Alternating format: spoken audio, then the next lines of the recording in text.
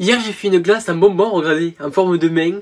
Et aujourd'hui on va la déguster. Comme ça on dirait le logo de The Voice. Ça c'est de doigts bien sûr. Hein. Allez on l'ouvre. Ah ça va être galère à démouler je pense. Ah quoique. Quoique peut-être... Euh. Oh non regardez. J'ai cassé les doigts. Oh là là. Par contre c'est super froid. Hein. Du coup je le goûte. Hein.